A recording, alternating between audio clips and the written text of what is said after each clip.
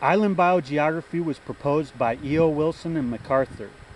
The idea is that you can figure out the species diversity of a restricted area such as an island in the ocean based on immigration and extinction rates. The higher the immigration rate, the more diversity. The higher the extinction rate, the less diversity. Somewhere these two meet and that determines the approximate species diversity to be expected on the island. There are also two other influences that determine the immigration extinction rates.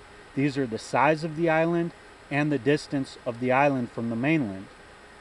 The bigger the island, let's again picture an island out in the ocean. The bigger that island is, the more immigration it's going to have just because species easily find it, and the less extinction because there's more resources on the island. The opposite for a small island, you would have more extinction and less immigration.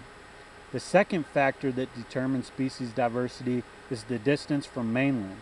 The closer an island is to the mainland, the easier it is for immigration, therefore more species.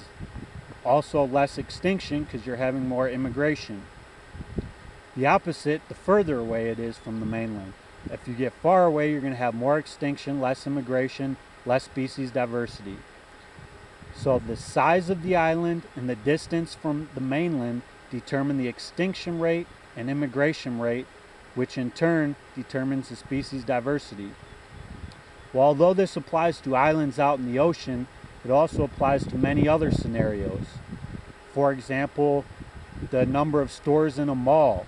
The bigger the mall, the closer the mall is to a city, or even the size of a park in a city. The bigger the park or the closer the park is to a rural area. What you're looking at right now are the Big Hatchet Mountains. These are mountains in southwestern New Mexico, just a few miles north of the border.